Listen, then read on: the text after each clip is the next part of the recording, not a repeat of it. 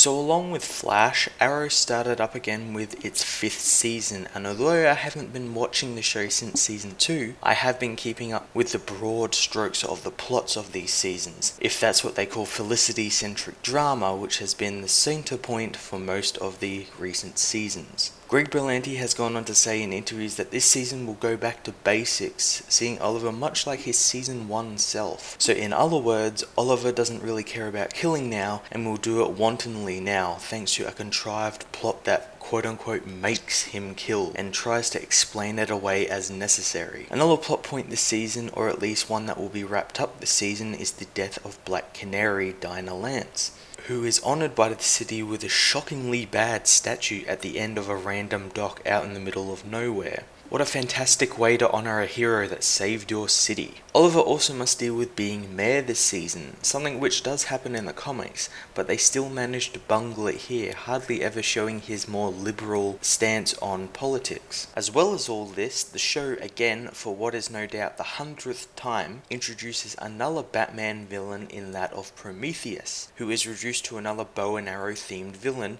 much like how 90% of the villain's flash fights have to have super speed speed. Honestly, I have no idea how this show is still on the air. It is absolutely awful. The writing is terrible, the action and delivery of the lines is terrible from the actors. The fight scenes alone in this episode were absolutely awful. The show has usually done these fight scenes pretty competently, but this episode was absolutely awful, as you could actually see the actors deliberately miss each other, and their reactions were just rather comical. I don't think this show has much steam left in it, and it can only do flashbacks so much until they actually catch up with season 1 and start doing flashbacks to season 1. I'm going to give this episode a 3 out of 10.